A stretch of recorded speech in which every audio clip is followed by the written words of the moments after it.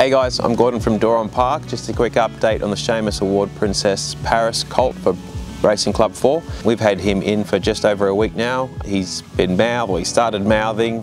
He's been doing a bit of desensitising work and he's had a few rides the saddle. Um, they've all gone really well. He seems to handle himself really well so far. A little bit too early soon to get a feel for his stride and, and how he feels and, and how I think he would be uh, moving forward. But um, at this stage, happy enough with him. Um, he's handling everything really well in, in and around the stables. I'm taking everything in quite easy, so I'm quite happy. Over the next couple of weeks, we'll get on his back and we'll do a bit more work with him and I'll have a bit more of an idea of what's to come and how he feels, where, where he would sit amongst with all the other horses. But no, happy for where he is. I'll speak to you soon. Cheers.